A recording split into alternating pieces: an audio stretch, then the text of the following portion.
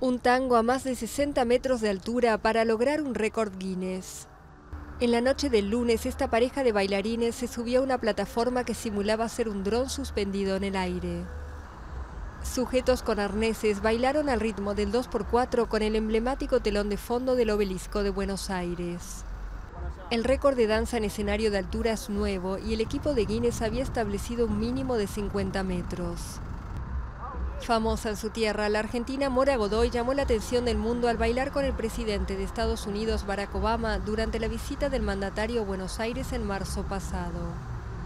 El espectáculo del lunes formó parte de la apertura del nuevo ciclo del popular programa televisivo Showmatch.